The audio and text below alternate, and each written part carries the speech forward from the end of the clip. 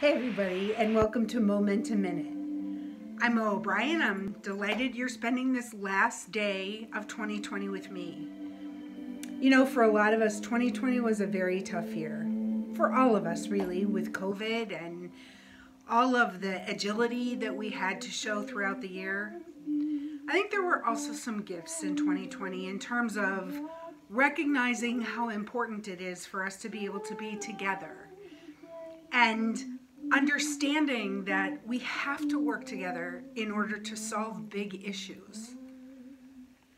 I hope for you that 2021 is your best year yet. I wish you abundance of love, laughter, joy, and of course, health.